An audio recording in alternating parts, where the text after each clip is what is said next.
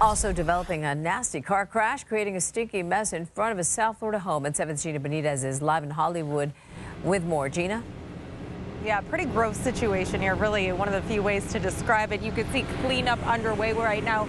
They're hosing off that dump truck. It is covered in treated human waste that was set to be used as fertilizer. Now, I want to take you to some video from earlier to explain exactly what happened here. The driver of the dump truck says he was driving westbound here on Sheridan Street and there was a pickup going eastbound that just lost control and then ended up in front of that home there. So he says he was forced to stop short and that is what caused him to just lose that load there. It is just everywhere.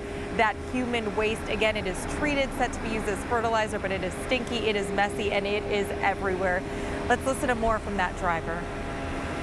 Must have been coming at super high velocity and he lost control over there, hit the median, and was practically airborne and ended up in there. And I had to abruptly stop.